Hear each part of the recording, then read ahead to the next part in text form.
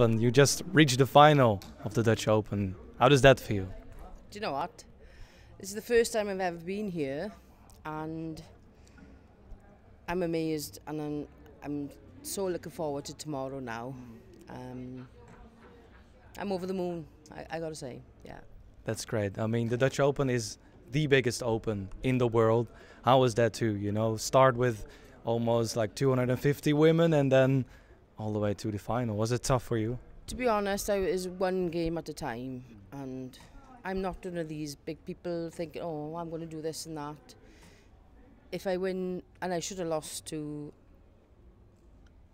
uh, a lot of people, so, but Okay. I'm happy that I'm, I'm, I'm there. I'm there now, so, and it is one of the biggest opens, but I, I'm, it is it's a great open to be involved in, so I'm happy. What, what was the most difficult game of today? I think in the last eight against Irina, hmm. I was 3 1 down and I thought, well, that's the end of that. And then I managed to scrape it back to 2 all or 3 all and then 1 6 1 in the last leg. Hmm. So I'm. I'm over the moon. I, I am. I'm, I'm chuffed, chuffed to bits. Yeah. already, already too bad. Is that what you're going to do after this? I mean, I, I get it. It has to. Uh, you, you used a lot of energy today.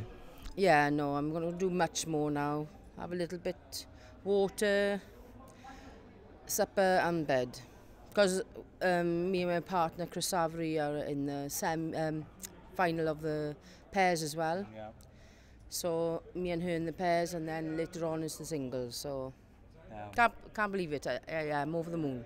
It's gonna be an amazing day for you tomorrow. I wish you all the best, Serene. Win or lose, I'm a winner. So yeah, can't believe it. Thank you so much.